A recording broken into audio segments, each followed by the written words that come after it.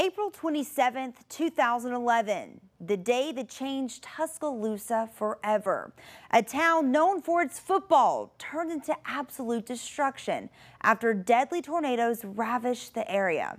It's been 10 years since that day, but Nick Saban and those who lived through the storms won't forget that day anytime soon. Saban says he still remembers driving home and housing 20 of his daughter's sorority sisters as they all took cover.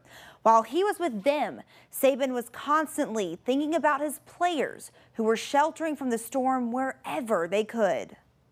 It, it was a pretty anxious time, uh, to be honest with you, and uh, that anxiety didn't really let up until you know the next day when we sort of could assess the damage. Um, you know, we lost one of our players lost, you know, his fiance, which was, you know, certainly something that uh, was very difficult for all the players to deal with. But um, there was also growing out of that anxiety a tremendous response, you know, to help people in the community. So um, it was a pretty anxious day, no doubt.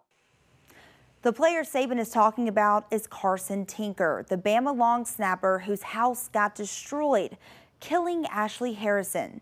The team had to come together, supporting each other and Tuscaloosa. After the storm, Saban and Miss Terry promised to build 13 houses after the tornado, one for each national championship. They're still building houses through Habitat for Humanity.